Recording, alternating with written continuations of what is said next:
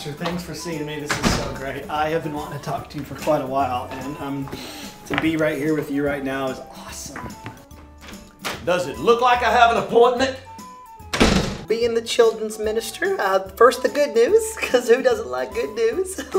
Listen, I've been looking at the numbers and we are hurting, all right? We are bleeding with a capital B, okay? I know you've been wanting to talk to me, but being the youth minister, I'm really busy, okay? I'm doing a lot, a lot of stuff. But as building superintendent of this here church, I got a problem.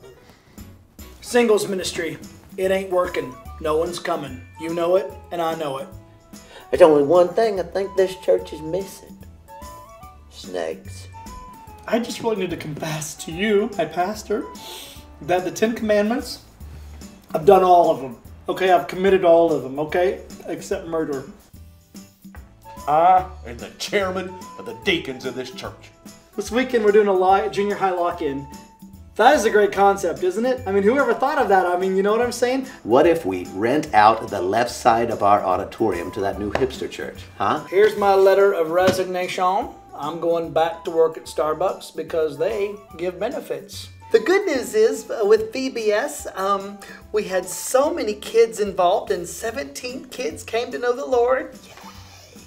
I was here long before you got here.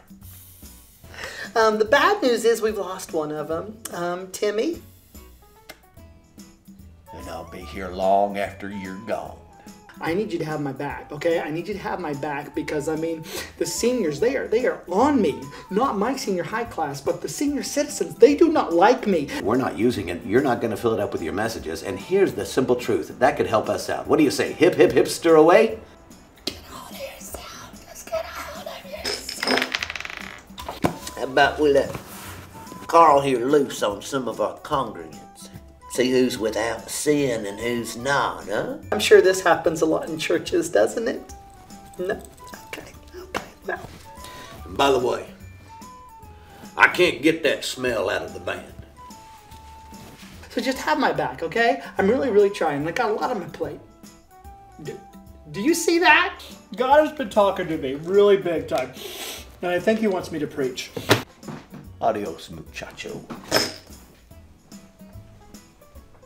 Let me show you what I'm talking about. Carl. Oh, Carl's out. Carl's out.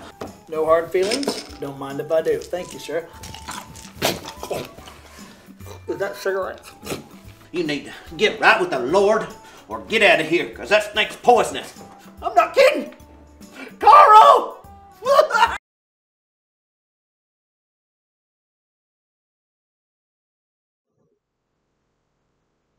So I want to start off with a story about a pastor by the name of Jeremiah Steepek. Now, Pastor Steepek was hired to be the pastor of a very large church, about a 10,000 member church.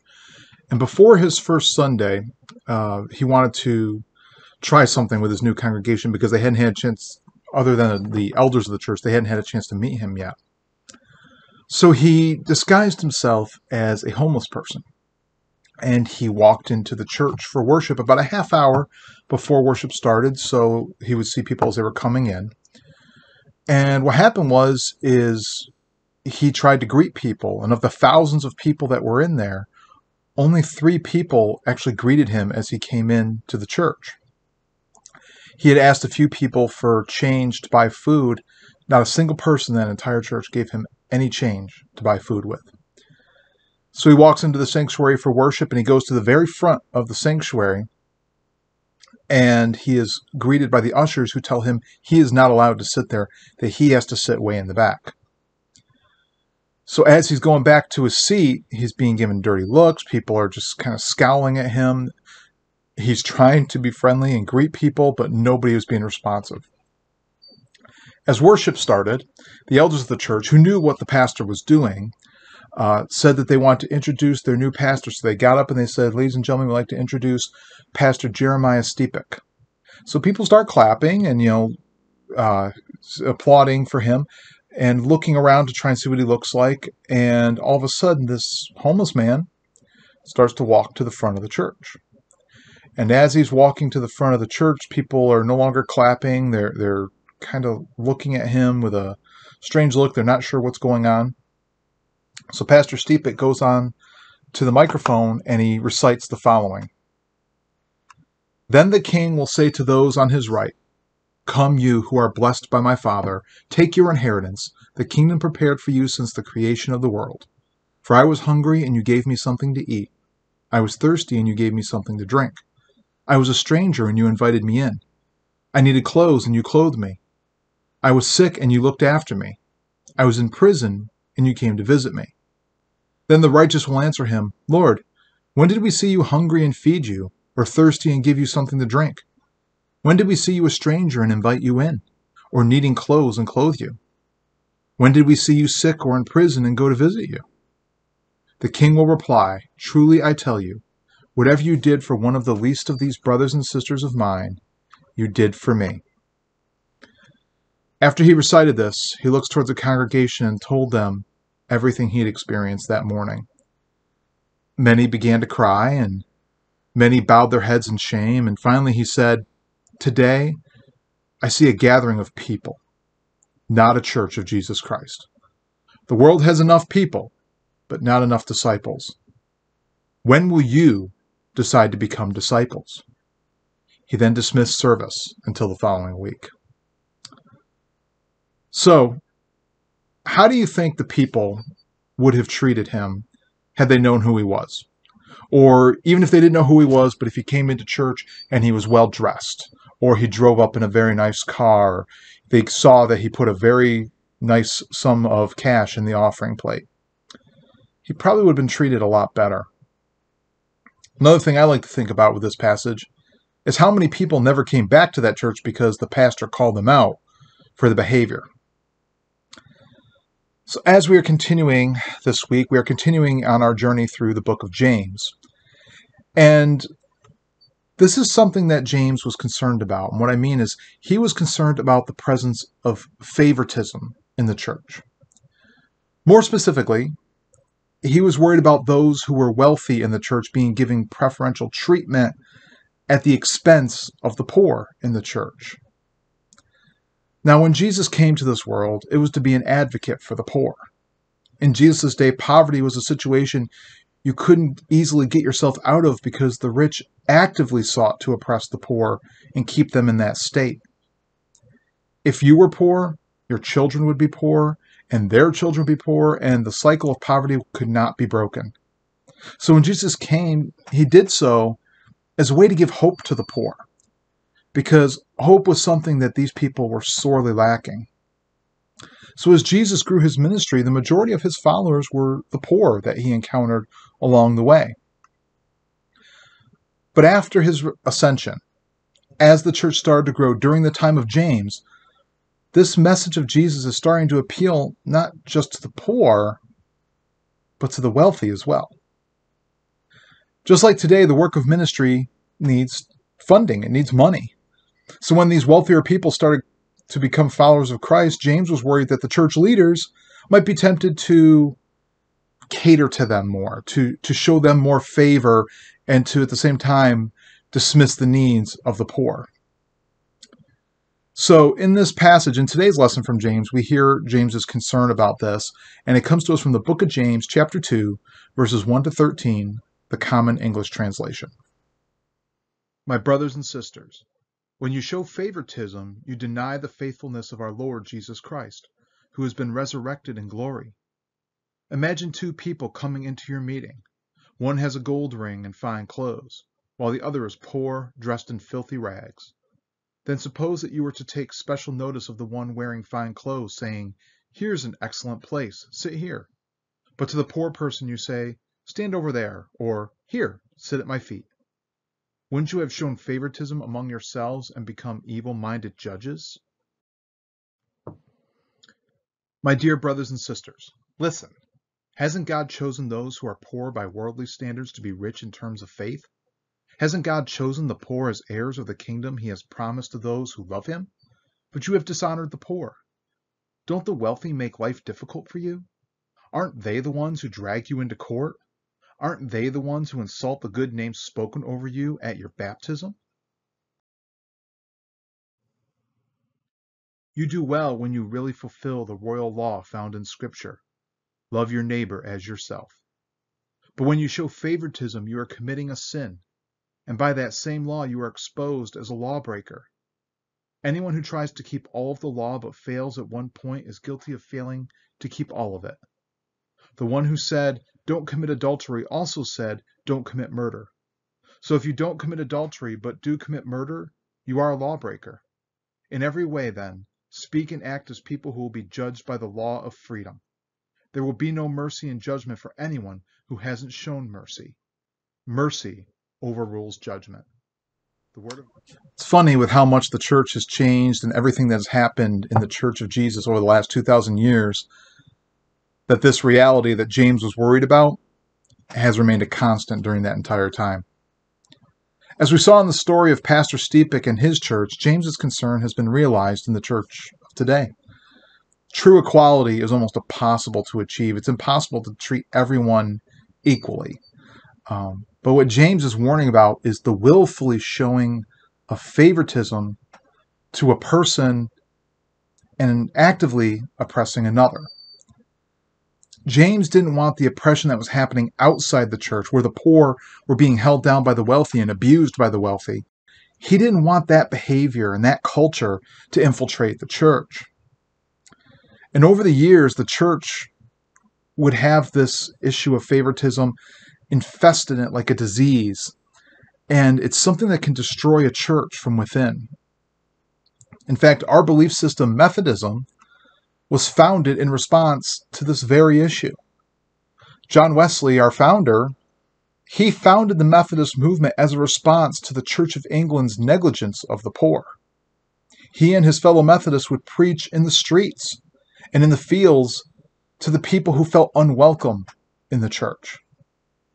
When Methodism was came to America, it caught on and it grew. And in the colonial days, it became the fastest growing form of Christianity in the nation. And it would be that way for years. But over time, the preaching went from being in the streets and the tents and the fields to large buildings, cathedrals, sanctuaries.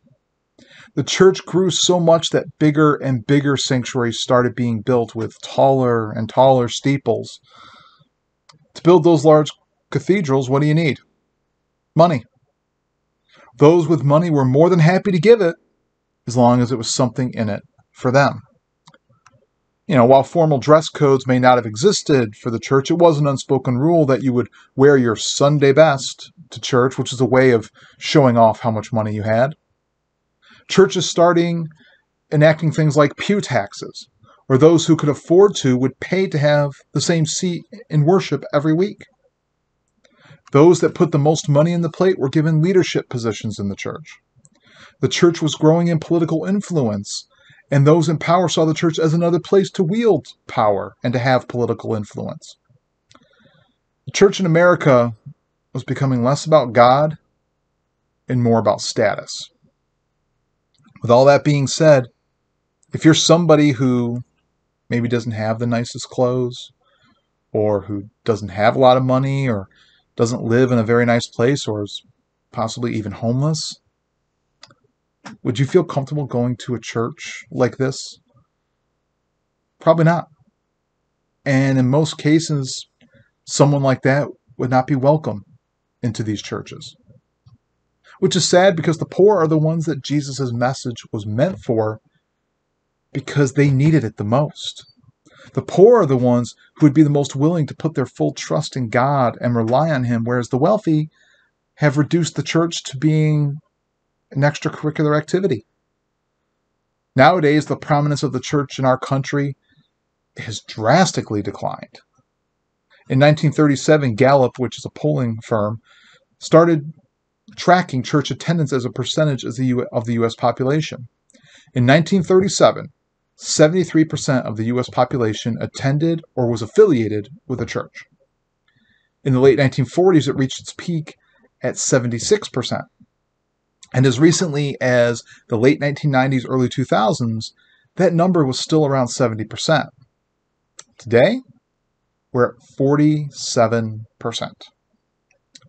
Now, there are many fag- factors that contribute to this, ranging from the growth of other religions, uh, the secularization of our society where worship is not seen as a priority anymore. And in fact, it's treated like an extracurricular activity. It's, it takes lesser priority than things like kids' sports, where coaches and schools don't really respect the sanctity of Sunday morning as being a time for worship and will schedule games and practices. It can be that the church doesn't have a lot of relatability to our modern lives, that the church is too stuck in its traditions and isn't relating to people and meeting their needs.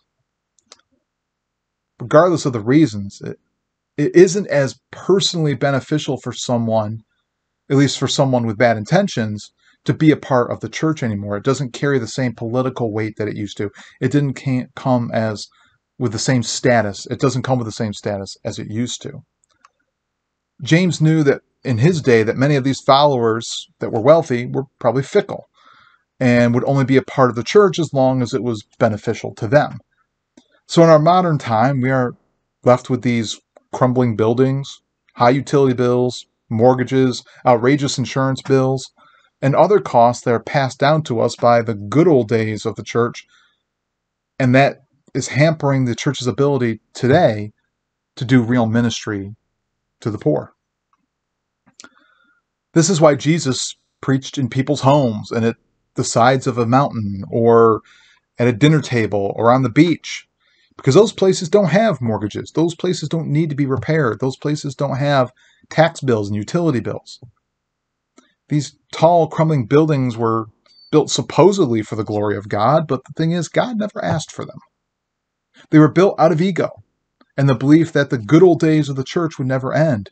So, as different denominations built bigger and bigger buildings to try and outdo the other ones in town, now we're left with all these crumbling buildings that are just a burden.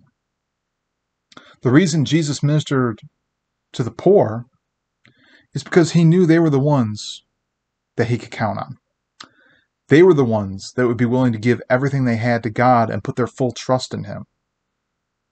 When those who only served God as a means to serve their own egos, as they fell by the wayside, James knew it would be those left behind that would truly represent God's kingdom. But how many of those poor, the ones that Jesus sought out, would even feel comfortable coming to worship today?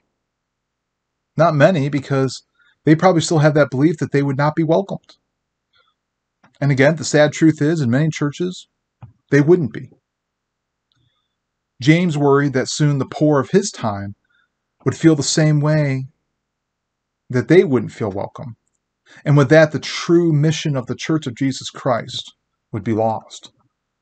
So he was trying to reason with his followers that, look, you're, you're putting up these wealthy people on pedestals. These are the same wealthy people that are oppressing you. You need to be minded, like minded with Jesus and look out for the poor because those are the ones who truly need the church.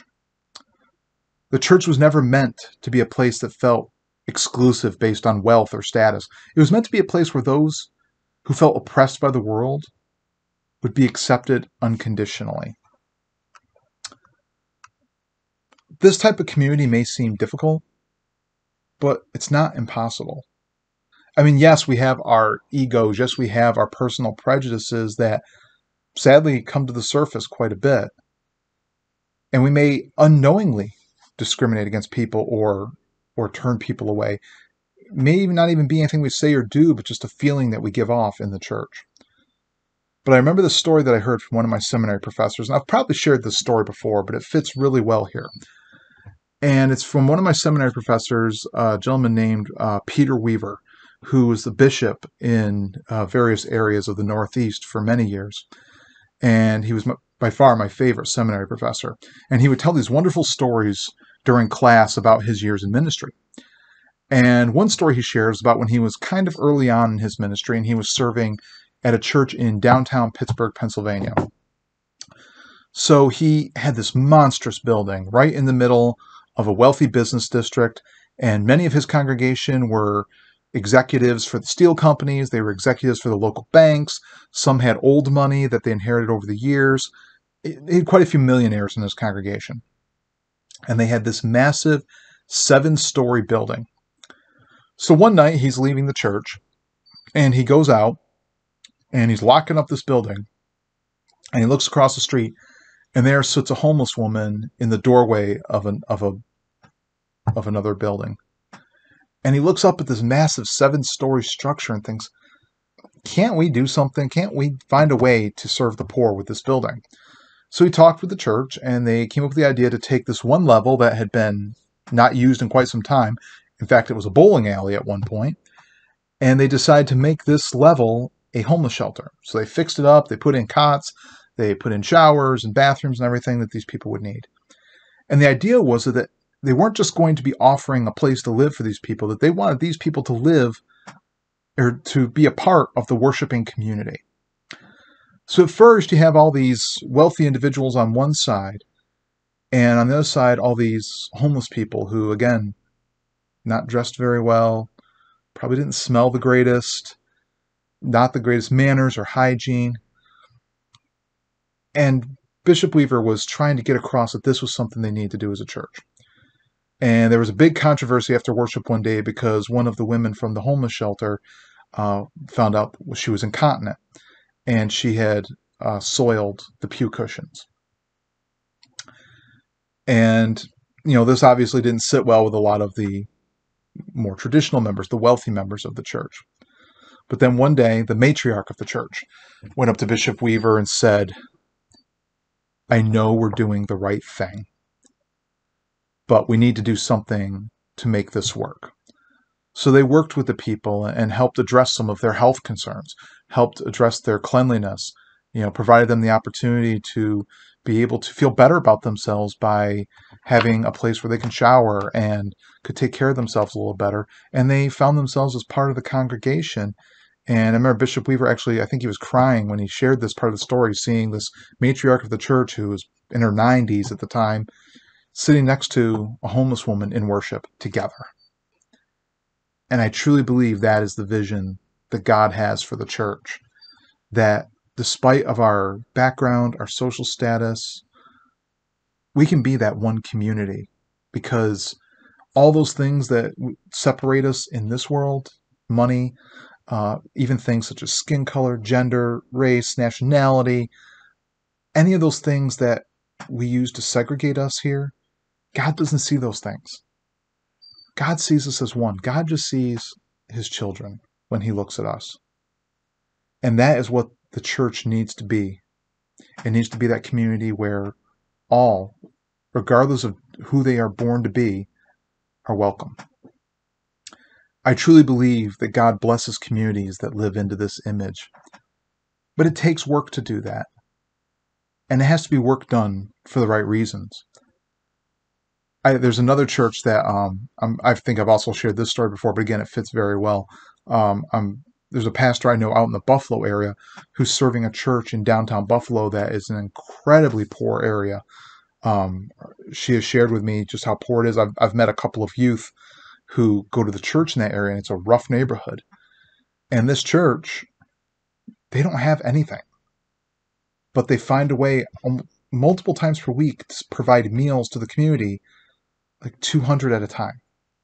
And I ran into this pastor at a at a district event about a year ago, and I asked her how things were going, and she just glowed, and she said, "We're ama- God is good. Amazing things are happening. I don't know if we can pay my salary next month, but we're feeding a lot of people in need. And you could see she just glowed with knowing that her church was doing the right things. And the reason that they're able to make it work is because there are many wealthier churches in the area that are working together with them to feed these people and to make sure they are taken care of. It takes putting egos aside to make this work and acknowledging that what is important to us is more often than not not important to God. What matters most to God is that we see each other through the same eyes as God sees us.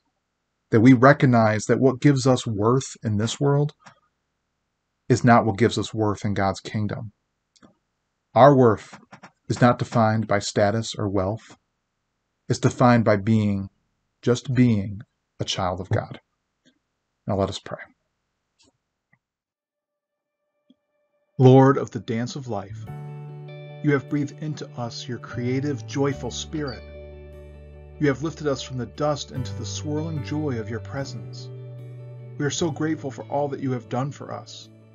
Each day reminds us in many ways of your mercy and your love. Yet there are times in our lives when we have felt lost and alone. We have been hurt and frightened and wondered where you were. Remind us again of your loving presence. Place your hands of healing on our lives. Comfort us when we become afraid, lost, lonely, and fearful. Prepare us to serve you faithfully all our days. As we have lifted the name of dear ones to you who are in need of your healing love, cause us to reflect on our needs, for your love and our response is dedicated service to you. Be with us now, in this time and place, and in all the places and times of our lives. For it is in Jesus' name we pray. Amen.